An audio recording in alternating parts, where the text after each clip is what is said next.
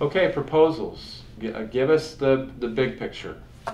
Uh, there's five scenarios that people will see, uh, and those five scenarios are based on Census 2010 data as the starting point. But there's been growth since 2010. This is supposed to be an update process. How did you account for growth?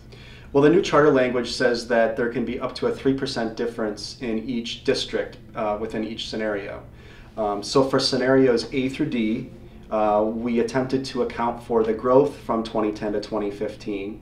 And in scenario E, uh, we only uh, allocated the numbers based on Census 2010 data. Okay, so growth is only about how you allocate the potential 3% difference.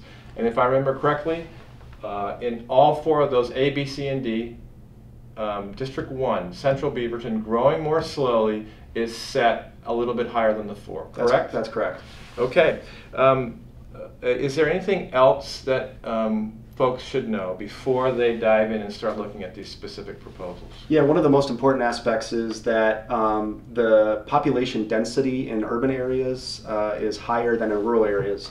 So a small uh, change in geography in these urban districts will create a huge uh, change in population, where a potentially big change out in the rural areas in District 4 can create a very small difference with respect to population. And you'll see that on the map. There are some of these where most of the change is concentrated in the urban area, small changes, big changes in population.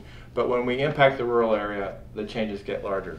Okay, now it's your turn. Uh, you have an opportunity now to, to click through and look at each of these proposals.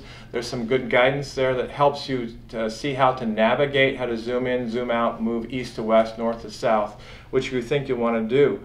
Um, we, as you do that, we hope you'll take notes uh, and that you will, in fact, uh, take advantage of the feedback page here as well, uh, the next page in this, in this tool, uh, and that you'll pass that, that, your comments on to the Board of Commissioners. Walt, do you want to talk about open houses? Absolutely. There's also a link here to four open houses that are scheduled uh, throughout the month of May. Uh, we hope folks will come, if they want to come out in person to pass along their feedback, they can do that then.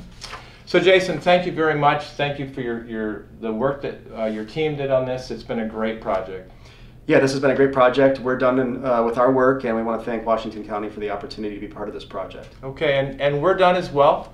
Uh, and we hope that you're not. We hope that you'll take that last step here, pass along your feedback, and we'll make sure that it is conveyed to the board and, and again that they consider that as part of their decision making process. Thanks very much.